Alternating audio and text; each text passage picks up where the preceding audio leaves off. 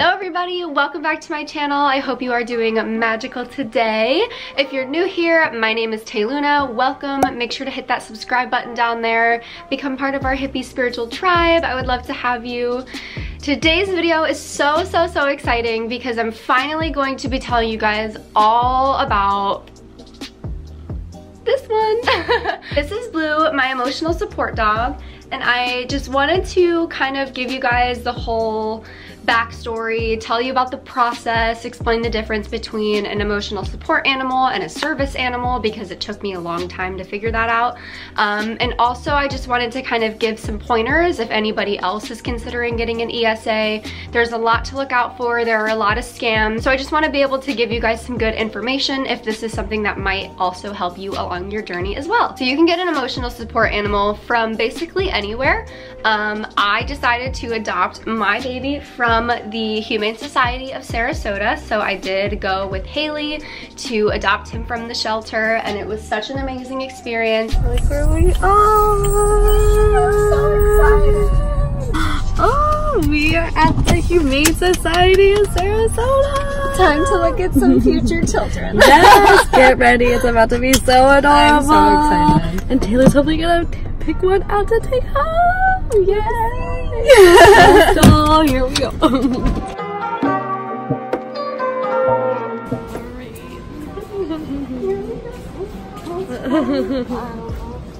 oh no.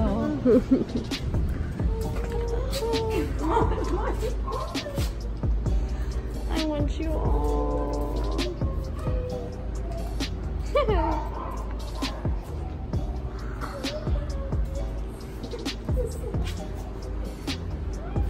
You're so cute.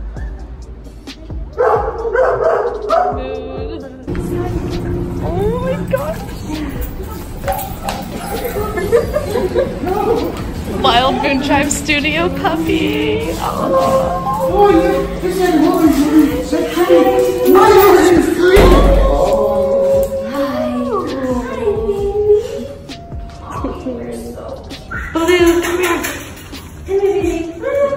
Boo. Sit, sit, sit, sit. You. Oh my god, there you go. You're like a circus dog. It's a turkey dog.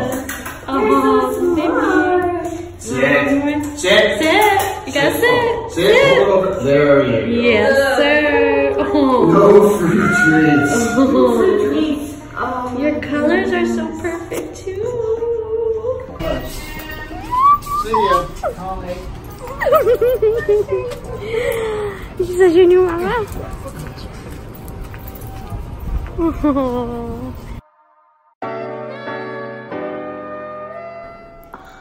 You ready? You go clean. Everybody there was so nice and so helpful. It was just absolutely incredible. All of the dogs that I have owned my whole life have been rescues. We actually even rescued one right off the street two days before Christmas in snow and ice. She was cold, she was skinny. Just to be able to give these dogs a new chance at life is such a privilege for me. Um, and I want to encourage anybody watching this video to please never, ever, ever buy a dog. Don't go to Petland, they use puppy mills. And honestly, when you do it that way also, the chances of your dog getting sick or having something wrong with them is very, very high. It's so heartbreaking, so please go check out your local shelters. It was literally like 75 or $85 to adopt him. That's it. They gave me a bag of his food. I got a leash and a collar there.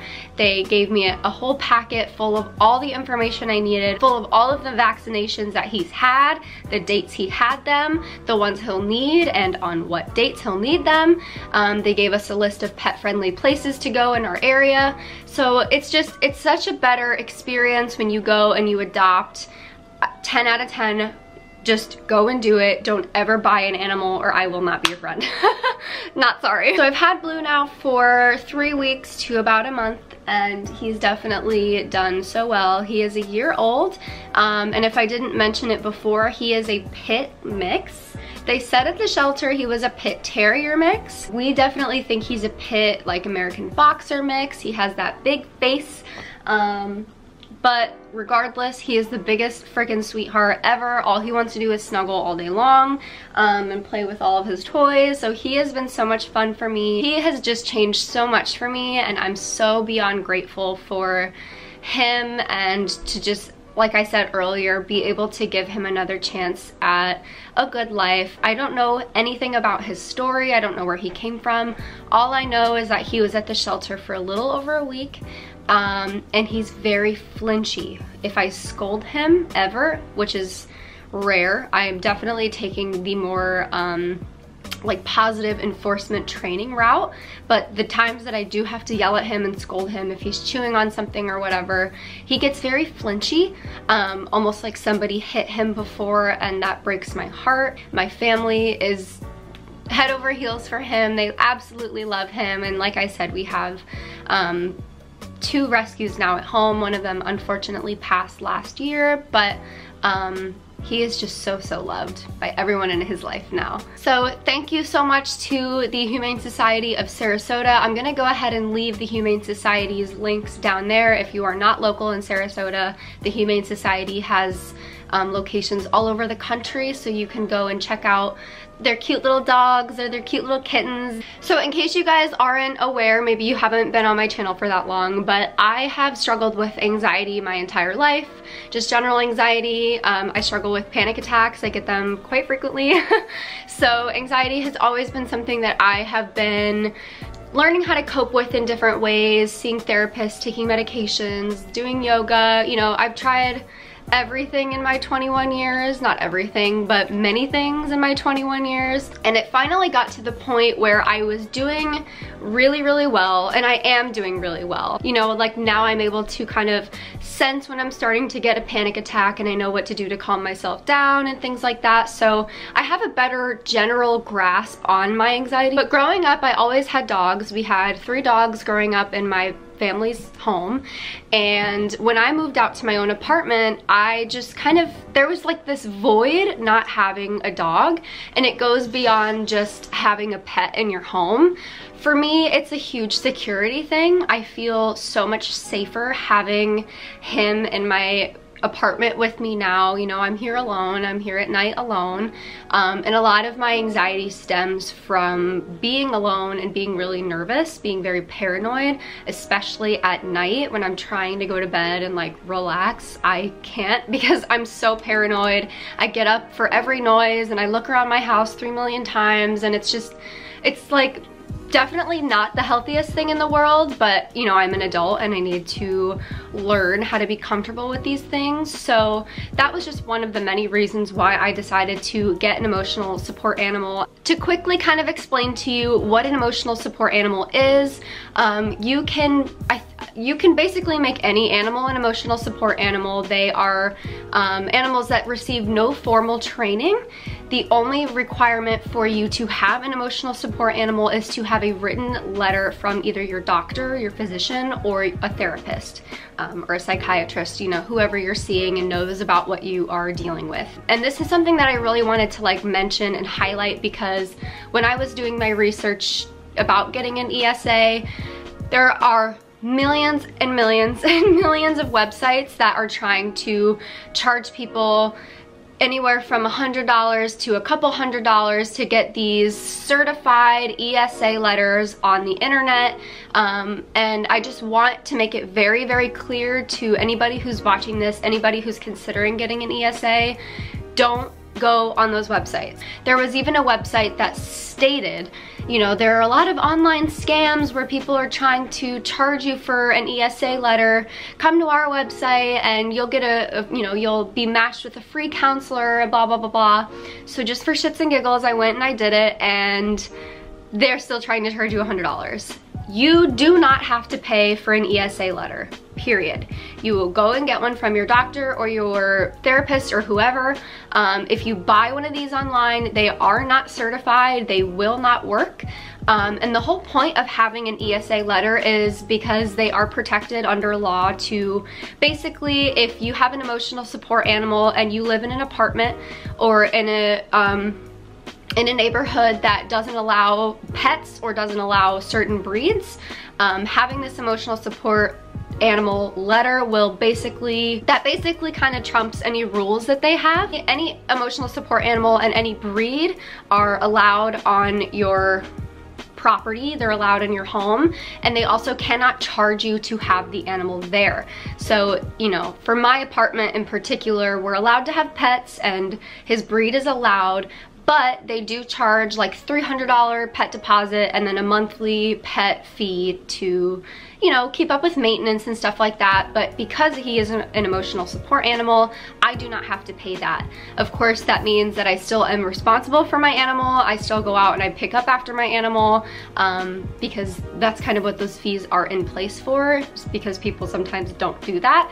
They're, they're protected by law. You're allowed to have them regardless of their breed and you do not have to pay for them. Um, and that also means that they're allowed to travel with you on the plane. So that's basically all it is. That's the big difference between an ESA and a service animal. A service animal does receive formal training and a service animal is trained to do a specific physical task to help you with something. For an example, if you had a service animal for your anxiety, maybe your dog um, was trained to sense when you're beginning to get a panic attack and it will go and get your medicine or your inhaler for you. Um, so that's just an example. There's millions and millions of other types of service animals and you know they're trained to do all sorts sorts of amazing things.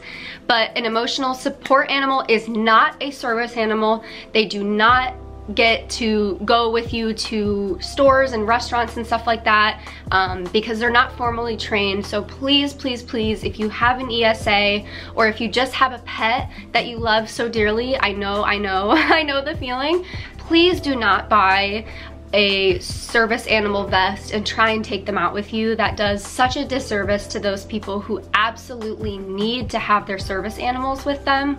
There are even places that are starting to turn service animals away because people are abusing it, buying their dogs vests that aren't trained, then they're misbehaving out in public, and it just ruins the entire thing. There are people who really need their service animals to live their day-to-day -day life, people who are blind, people who have diabetes and different medical issues, so please, please, for the love of all that is holy, do not ruin it for those people who absolutely need it. I love my dog dearly, but it's not worth it to me to take him to a grocery store and then, you know, see somebody who's blind that can't take their dog with them because my dog was misbehaving. You know what I mean? So I just wanted to kind of clarify that. It was something that I struggled to understand. I did a lot of research and I actually stumbled upon a YouTube channel of, I can't remember the girl's name or the channel name, but I will link it down below. She basically does all kinds of videos that explain the difference between an ESA and a service animal. So if you have any more questions,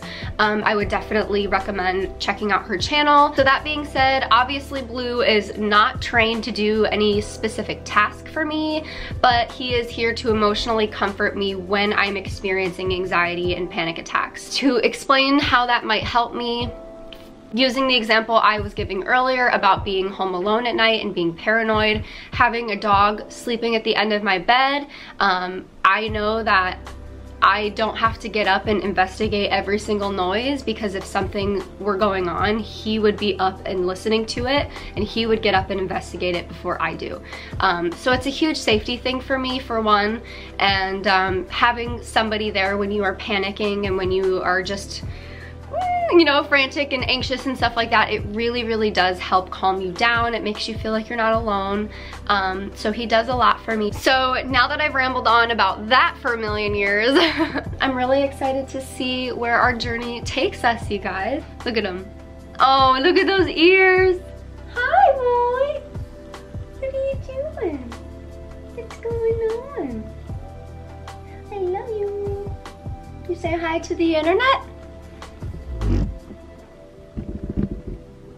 Say hi to everyone? If you want to follow along mine and Blue's journey, definitely make sure to follow my Instagram account at Taylluna. I'm going to go ahead and leave the link down there for you. Um, I have a little highlight for him and you know, all of our little cute adventures and stuff I like to post on my story. But I'm sure you'll see more from me and Blue. And thank you guys so much for watching. If you have any questions about ESAs versus service animals or just about anything in the process in general, please feel free to reach out. I've had a lot of people reach out to me about ESAs since I announced the whole thing on Instagram and that makes me so happy. There is so much false info out there. I want everyone to get the right information. So yeah, I think that's everything for this video. Give me a big thumbs up if you liked it and give me a big thumbs up for Blue because he's so cute. He does it really really important job for me even though it's not a formal job he does do very important very special things for me. So thank you, Blue. I love you so much. And make sure to subscribe to the channel. Every Friday, I'm going to be doing thrifting videos, talking about my reselling journey, my online shop, and I think the next video I'm gonna be posting after that is redecorating my plant patio. If you guys saw, I had to take everything off for the hurricane um, and it's still all sitting in my kitchen. So the next video you'll see from me after our thrifting adventure will definitely be reorganizing all of my plants on the patio and decorating it all cute. So if you're into that, definitely subscribe. You'll see a lot more from me. And yeah, I love you guys to the moon and back. I will see you next time. Bye. Mwah.